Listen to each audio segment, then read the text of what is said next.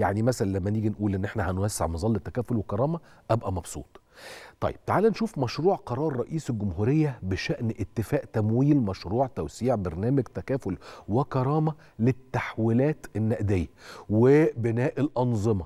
ده ما بين آه، مصر والبنك الدولي للإعمار والتنمية. طيب المشروع بيستهدف إيه؟ المشروع عشان تبقى أنت فاهم هو بيستهدف زيادة التغطية. وفاعلية برنامج تكافل وكرامة للتحويلات النقدية. وعلشان نتوسع في السجل الاجتماعي لدعم استهداف برامج الحماية الاجتماعية بشكل عام.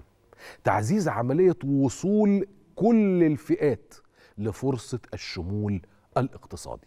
ده شيء شديد الأهمية. جدا.